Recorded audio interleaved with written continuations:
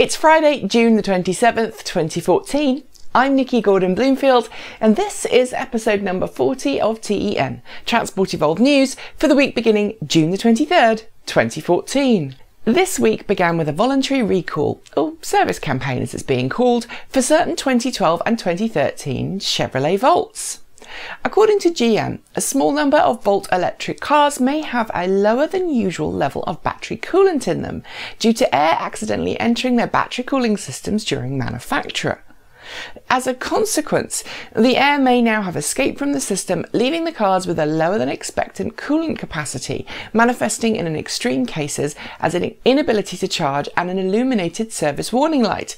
While there's no permanent damage caused by the low coolant level, affected cars won't be able to charge until the coolant has been topped up and the car's system cleared of errors. GM says worried owners can contact their dealer for a car checkup free of charge. It's only been a fortnight since Tesla made its electric car patents open for all to see. But US based Car Charge Group Inc. announced this week that it intends to use some of those free patents to make its widespread Blink quick charge network compatible with Tesla's. Time to coincide with the upgrade of its several hundred DC quick charging stations across the US to include the all new CCS charge standard. Car Charge Group says it will be adding Tesla specific charger connectors so that Tesla owners can charge up too. What's worth noting here is that unlike Tesla's own supercharger network, the chances are you'll have to pay to use the Blink network, Tesla or not, and there's also some question as to how much power the Car Charge Group intends to offer. Given current charge stations are limited to just 50 kilowatts, we're not sure you'll get a Tesla supercharger experience at a Blink charging station just yet. After years of promising us that it was just around the corner, Toyota finally unveiled its first mass produced hydrogen fuel cell car this week. Based on the hydrogen fuel cell sedan concept vehicle we saw at last year's Tokyo Auto Show, the five seat sedan is a little larger and taller than a Toyota Corolla and should be good for about 400 miles of driving on about 12 pounds of weight in hydrogen. Toyota says the as yet unnamed hydrogen fuel cell sedan will go on sale early next year in Japan for the princely sum of 7 million yen. European and US prices are expected to follow soon, ahead of the car launching on both sides of the Atlantic next summer. As for filling costs, Toyota was unwilling to say how much it had cost to fill its first mass produced hydrogen car, but we're guessing it will be significantly more expensive than plugging in. According to multiple sources close to Audi, the German luxury automaker is about to take on German rivals BMW and Mercedes Benz in a surprise electric war it's quietly been preparing. Oh, and Tesla too. According to Reuters, Audi is close to bringing multiple all-electric models to market, including a plug-in version of the Q8 SUV. Likely to have a range of around 200 or so miles, the Q8 EV would of course compete directly with Tesla's upcoming Model X, although it's not clear how the two will compete on price, practicality or charging capabilities. Other cars rumoured to be coming include a luxury plug-in sedan to challenge the Tesla Model S and a smaller city car to cross-shop against the BMW i3 and Mercedes-Benz B-Class electric drive. What we want to know, however, is if Audi has a chance of catching everyone else up or if it's just too far behind to make a difference, even with that lovely sexy R8 e-tron. After nearly two months of limbo, California's green HOV lane decal program is back in full swing, thanks to an emergency bill passed this week by the Californian Senate.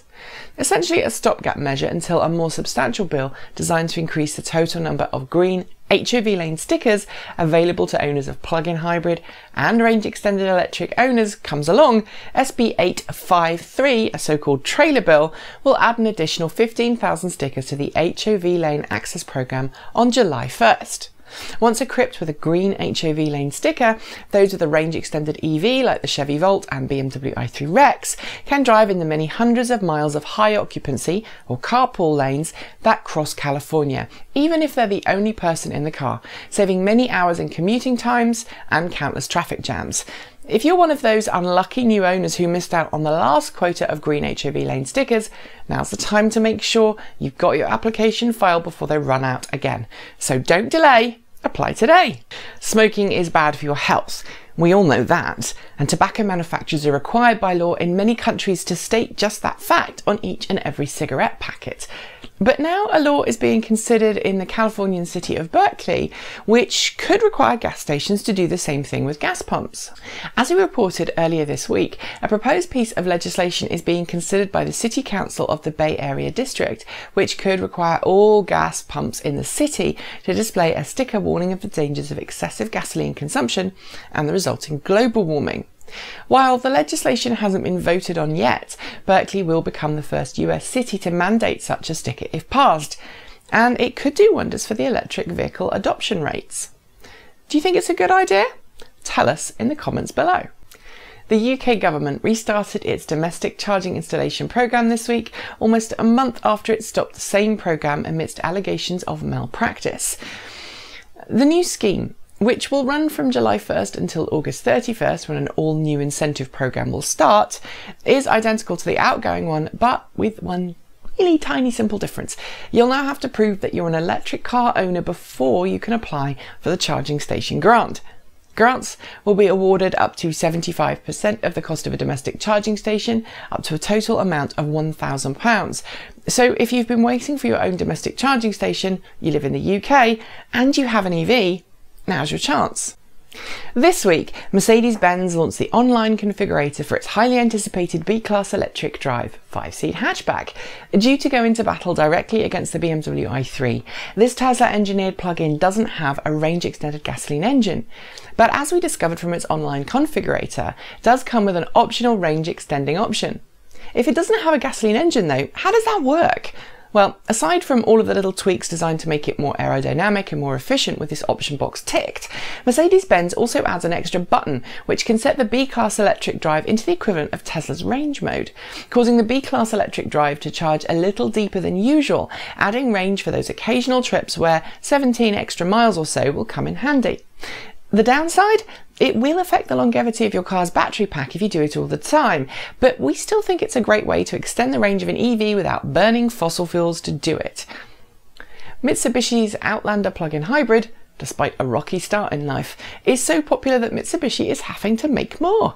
Uh, that's the news from Japan, where Mitsubishi is planning a 20,000 unit increase in the number of Outlander plug-in hybrid cars being produced this year compared to last. This raises production numbers to a total of 50,000 plug-in Outlanders for 2014. Next year, production numbers could increase even more, with a total of 76,000 units planned.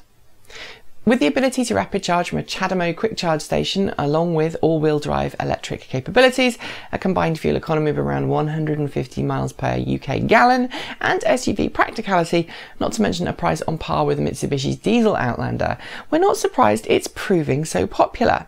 And, as it happens, we've got one arriving today on a week-long review. So, if there's anything you'd like us to test, get in touch. Brits are known around the world for their reserved attitude to life, their understated wit, and their abhorrence of anything new. So it's no surprise that a new survey released this week by the UK government is categoric proof that Brits really aren't all that interested in electric vehicles. As the survey details, a shocking number of those questions hadn't even thought about buying an electric car, with the majority dismissing electric cars because of their perceived charging problem, cost, and distance per charge. As with other studies, those who were educated to at least graduate level were more likely to know about, own, or want a plug-in, while a shockingly large number of baby boomers, they just couldn't care less. It's all rather pathetic, really, and it's left us wondering if electric cars will, um, yeah, hmm.